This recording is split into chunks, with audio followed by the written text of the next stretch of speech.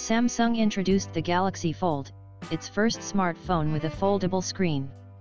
We knew that Samsung would show a folding device on the Galaxy Unpacked, but we expected to see it closer to the end of the event.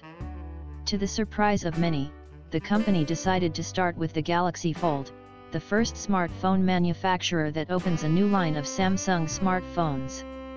Like the prototype we first saw in November last year at the SDC 2018 Developer Conference, the Galaxy Fold, when folded, is a smartphone in our usual form factor, equipped with a 4.6-inch display with a resolution of 1960 x 840 pixels.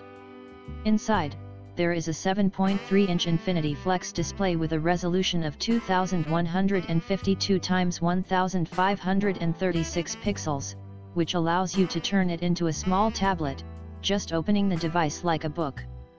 Both screens have the same density, 420 dpi. In the folded state, the thickness of the device is 17 mm, in the open form, 6.9 mm. This is even less than the new flagship. For the Galaxy Fold, a special hinge system was created with several locking mechanisms hidden in the back of the device. Galaxy Fold is equipped with a Snapdragon 855 processor and 12 GB of RAM.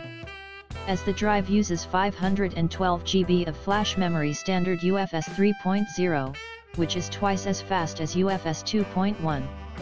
The smartphone works from two batteries with a total capacity of 4380 mAh. Galaxy Fold is equipped with six cameras from three sides, in front and behind when folded and from the inside when open. The main camera system consists of a 16-megapixel module with a wide-angle lens with f/2.2 aperture, a 12-megapixel module with a telephoto lens with f/2.4 aperture and optical stabilization and a 12-megapixel camera with a variable aperture of f/1.5, f/2.4. On the internal screen there is a double selfie camera with resolutions of 10 and 8 megapixels. When folded, a 10 megapixel front camera with f/2.2 aperture remains available. Now the fun part is how does the Galaxy Fold work? The device uses a system of continuous operation of applications when switching between tablet and smartphone modes. Applications such as WhatsApp, Microsoft Office, YouTube, and other major programs are optimized for display in these modes.